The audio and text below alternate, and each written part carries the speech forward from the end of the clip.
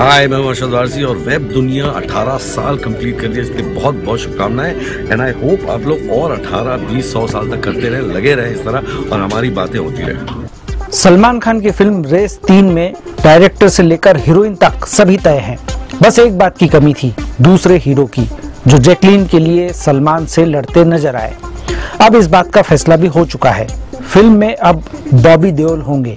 Race तीन में सलमान पहली बार ग्रे कैरेक्टर निभाते नज़र आएँगे। इसके अलावा फ़िल्म में एक और हीरो की ज़रूरत थी, जिसके लिए सिद्धार्थ, मल्होत्रा, आदित्य राय कपूर और सूरज पंचोली के नाम पर सोचा गया। कुछ ने फ़िल्म करने से मना कर दिया तो कुछ को डेट्स की समस्या थी। आखिरकार प्रोड्यूसर रमेश तोरानी ने बॉबी देओल को फाइनल किया है।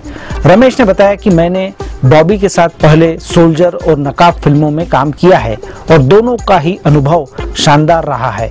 वे बहुत पेशेवर और अच्छे इंसान हैं। इस फ़िल्म में बॉबी का एक अलग ही अवतार सामने आएगा, जिसे पहले कभी नहीं देखा गया होगा।